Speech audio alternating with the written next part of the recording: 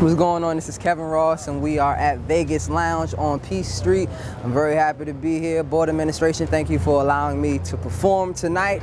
Next song I'm gonna do is, uh, clearly evident, uh, Michael Jackson song. Everybody been doing all these slow pieces about Mike. Um, I actually wanted to just pick it up. And, uh, it should be familiar. I just want y'all to help me out with it.